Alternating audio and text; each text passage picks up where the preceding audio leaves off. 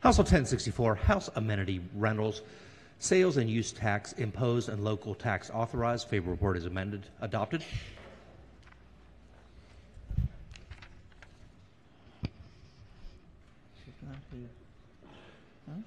Yeah. The chair of the committee special ordered this. My apologies, Madam Speaker. That's okay. I was wondering why he was getting up. I, I, I- believe uh, my friend has a, an amendment at the desk. Okay. Thank you, Madam All Speaker. right. The chairman, I mean, the chairman, oh my goodness.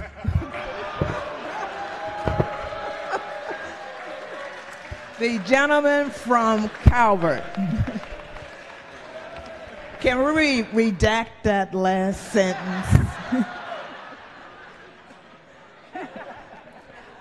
Gentleman from Calvert, go ahead. Thank you, Madam Speaker. You know, we did go to the same high school, so I appreciate that. Gentleman has, go ahead. So I do have an amendment at the desk. It's amendment number 1064 slash 873620 slash 1. Amendment number one. Move so much be considered the reading of the amendment, Madam Speaker. So ordered. Thank you, Madam Speaker. So, folks, uh, we have in front of us a bill, um, and the bill is House Bill 1064, home amenity rentals, sales and use tax imposed on those home amenity, amenity rentals. And um, we did hear some, some discussion, I believe it was yesterday. And I just wanted to make sure that I fully understood the bill because it is a pretty sweeping bill. So I, I had a couple of questions for the floor leader, if I may. Yes, sir. Good morning. Good morning. Floor leader. Good morning. Um, so it appears this bill is doing two things. It appears the first thing the bill is doing is to, is to impose the 6% sales tax on individuals at their homes who may have a pool in the backyard, as an example, and then choose to rent that pool to a family who wants to, let's say, use it for the day or for a few hours. Is that, is that correct? No, this rental needs it needs to be facilitated through a home amenity rental intermediary, which is defined as a platform, an internet-based digital entity that advertises the availability of home amenities and receives compensation for facilitating these reservations. Yes. So the answer to what I just said, I believe, is yes, which is that for the first time in Maryland's history, we're saying that your property, your house where you live, that has an amenity, an amenity could be a pool, it could be a garage, it could be a barbecue area, it could be a barn, which is common in my county, by the way. Um, it could be uh, a tennis court. It could be uh, a bocce ball court. Could be all kinds of things. And to the extent that you have someone come on your property at your home where you live and use any of those things, the bill states that there's a 6% sales tax that must be paid. Delegate, that, that is just not true. That's not what the bill says. So why is it then, since you're saying that, sir, that in the fiscal note it says on the state fiscal effect, general fund and special fund revenues increase by a potentially significant amount beginning in fiscal 2024 the amount of the revenue increase depends on the number of home amenity rentals that occur each year and the value of the home amenity rentals that are subject to the state sales and use tax, the value of the rentals, which cannot be reliably estimated. As a point of reference, total sales and use tax revenues increased by $6,000 for each $100,000 of taxable home amenity rentals. So I think it's important to be transparent and clear that the fiscal note writer- says that this is a tax of 6% when you rent your pool in your backyard or any of those other amenities, and the state's fiscal effect is its revenues will increase significantly to the extent that and to the value of all of those amenities that people rent in their, on their property. What's the question, Delegate? I'm just refuting the comment on the floor, and it's important that this is not a 6% sales tax increase on people's residences when they rent out amenities on their property, because it is exactly that, pursuant to the undeniably and well written fiscal note. I'm going to have to respectfully disagree there, Delegate. At some point in recent history, this legislature made the decision to tax short term home rentals, right, through platforms like Airbnb. That industry has evolved. Now there are platforms, digital platforms, that allow you to rent amenities for short term rentals. What this bill does, above all else, it's a technical bill, bringing into alignment short term amenity rentals with short term lodging rentals. Anything else that you're mentioning is outside the scope of this bill. So, not according to the comptroller. So, the comptroller states that if you actually rent without a platform your pool in a private transaction between someone, let's say, a few miles away that doesn't have a pool, that the nexus is that you now are responsible for paying that 6% sales tax to the comptroller.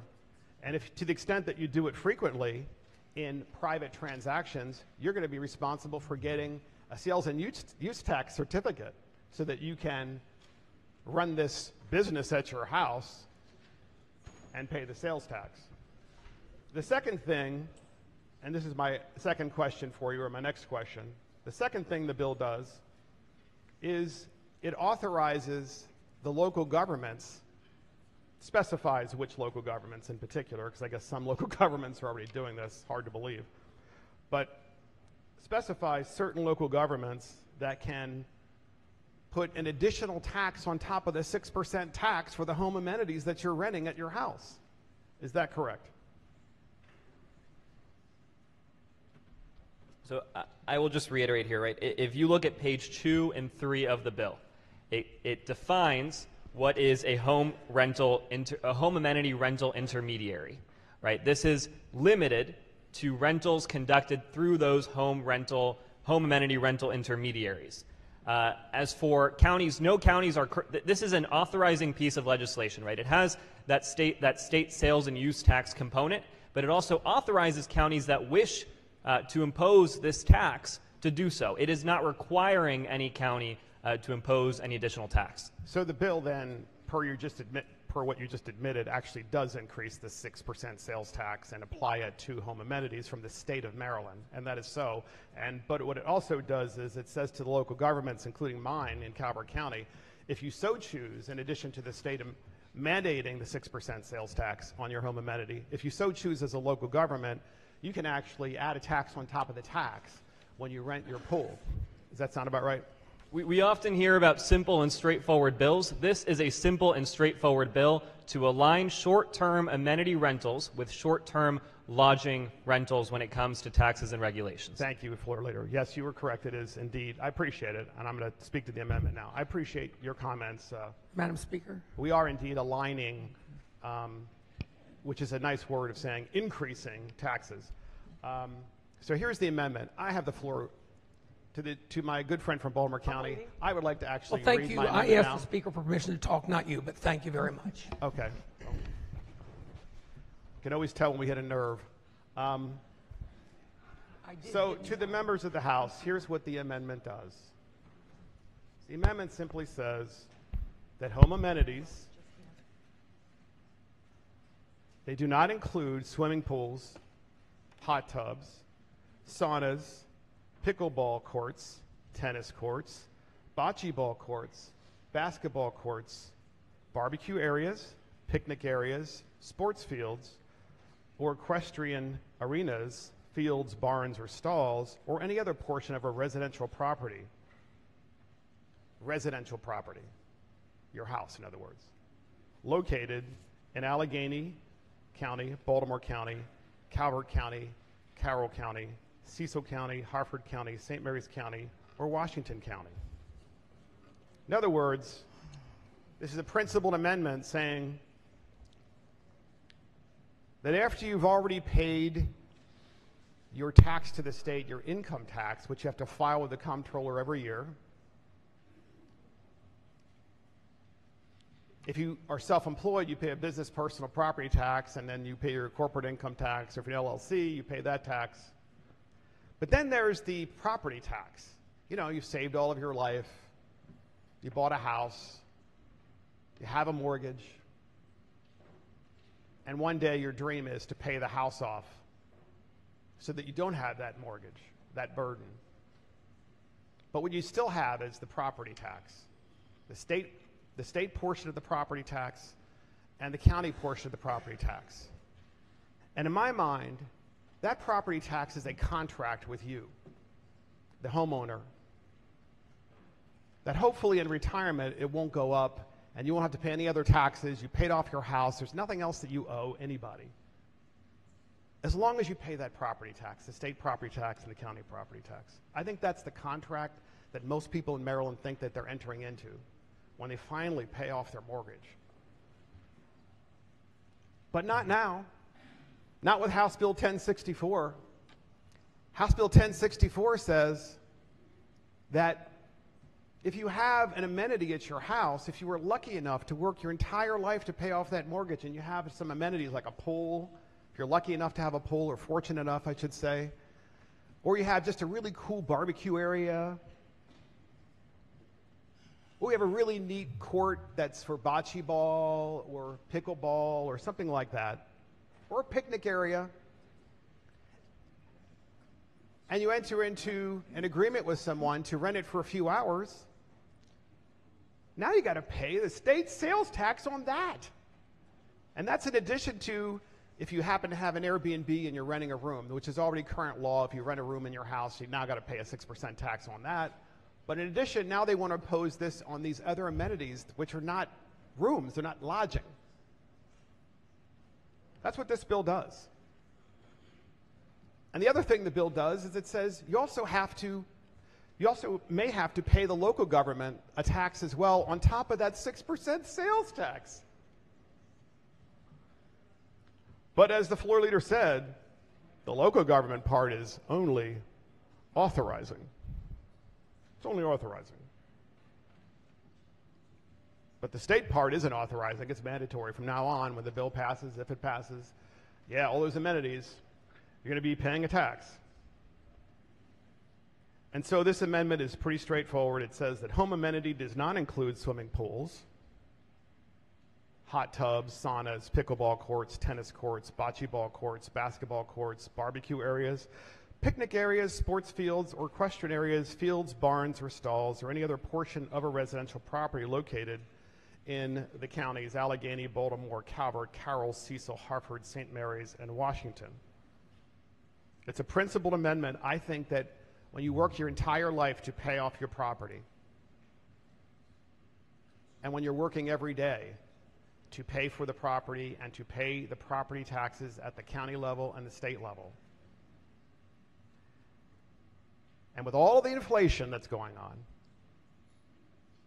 increasingly people are trying to find ways of making extra money by renting these amenities on their property. And no sooner does that happen than a state that has endless appetite for more of your money.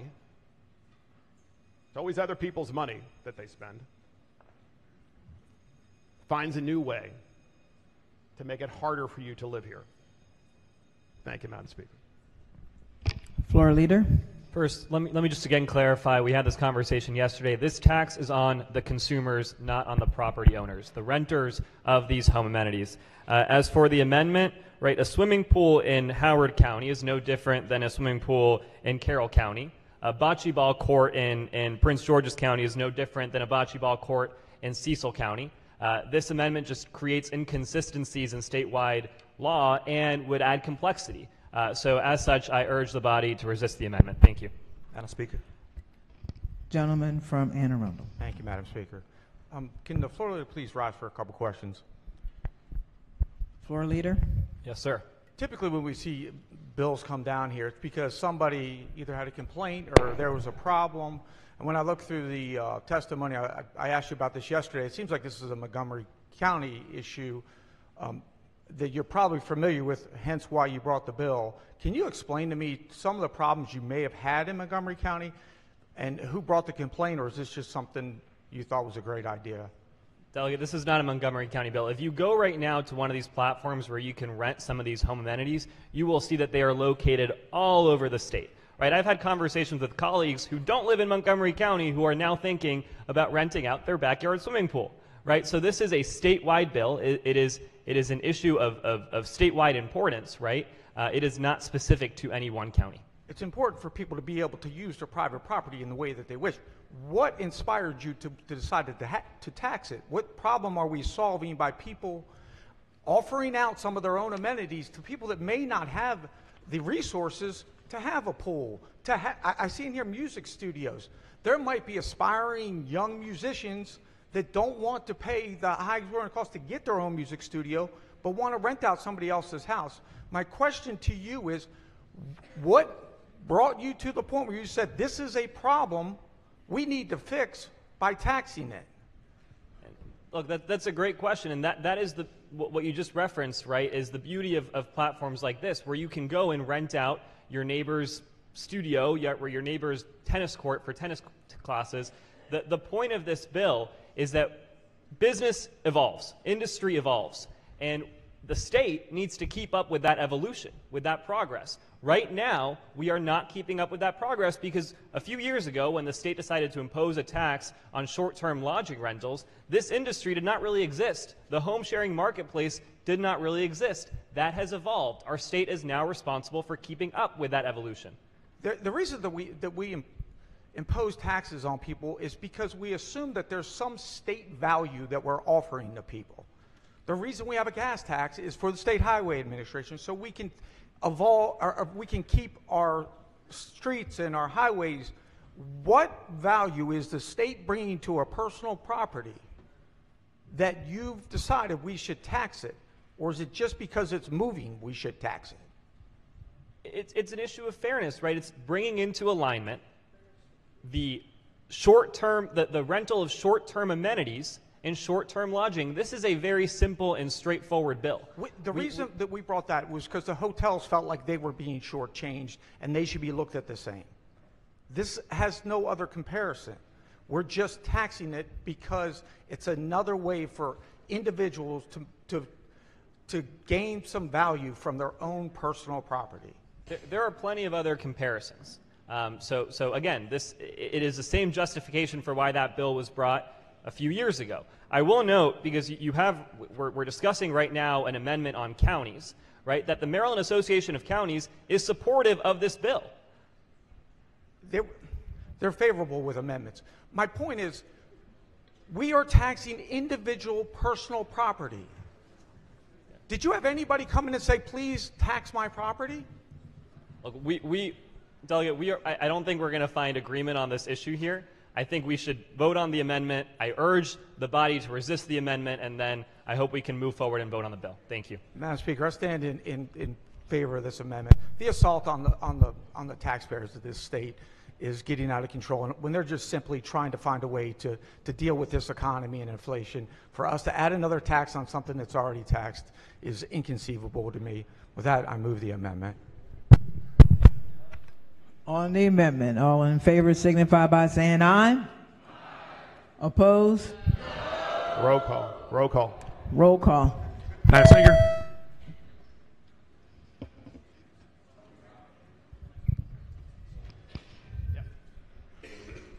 Explain my vote. If I may. How long are you going to take? 30 seconds? Go ahead. 30 seconds. I guess if I get promoted to chairman, I might be shorter. Go ahead, you're wasting time. So, so in addition to the state tax and now the local authorized tax on your Um, pool that you excuse rent- me, you cannot explain your vote if you didn't vote on it. Okay, here we go. In addition to the state tax and the local tax that's on this, on uh, renting your pool and so forth. In addition to those things, you actually have to pay income tax on that revenue as well every year. Think about that. Tax at the state, tax at the local. You get your your form of the income that you made from these things. Now you got to pay taxes on that as well. Then you got the property tax at the local level and the state tax. Way to go, guys. Way to go. Any other ideas you have to raise taxes? Yeah, I'm uh, agreeing on this amendment. Amendment. We need to protect people with all of the uh, with all the inflation going on and with the out of the control prices. And this amendment does just that. Thank you. Madam Speaker. Yes. Who has the next vote? Go ahead. Thank you, Madam Speaker, to explain my vote. I'm disappointed that the Baltimore County delegation didn't get to consider this bill as it's a direct impact on the delegation.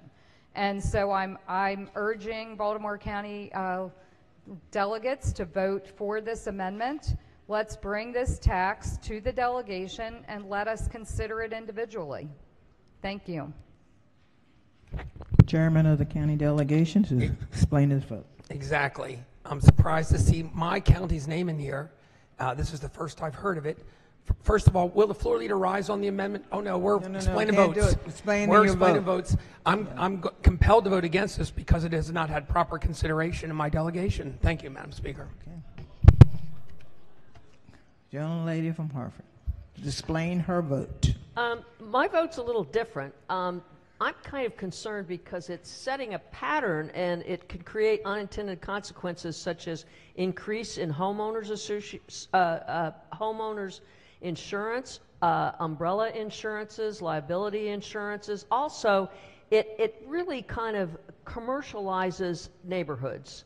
And I'm just not sure that that's really what we should be doing. In other words, if a neighbor wants to rent somebody's pool, um, we're, we're kind of like, what, why are we doing this? We're, we're, we're, we're turning it into a, a commercial endeavor where people have to pay taxes. I mean, pretty soon, everybody, we're going to be paying taxes on the air. So that's why I voted against it. Unintended consequences, which we have no idea what they'll be.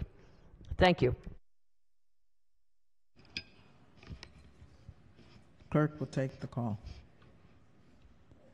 The amendment fails. Are there any additional amendments to the bill or to its title? Hearing none, the bill is ordered pass, printed for third reading.